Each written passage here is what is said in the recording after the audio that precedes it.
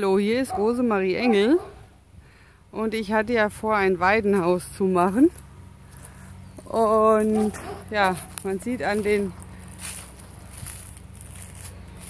an den Stielen, an den Stamm, dass das halt hier schon länger, schon ältere Bäume sind. Also meine sind ja ungefähr so dick. ja, also wenn wir dann entgegen das dauert ein bisschen, bis meine dann so stark sind. Ja, und ich bin gespannt, wie es wird.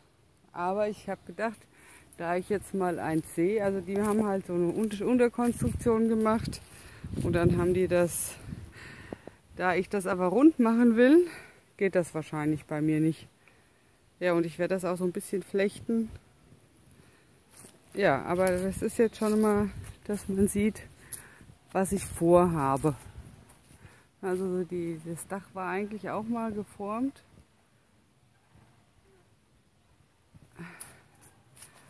Also ich bin gespannt. Und ich bin vor allem gespannt, ob diese Äste, die ich habe, Wurzeln ziehen und auch so schön wachsen. Jo, mit dem schönen Bild vom Himmel verabschiede ich mich und ja, und bald fange ich an zu bauen. Wenn es geregnet hat, werde ich anfangen zu bauen.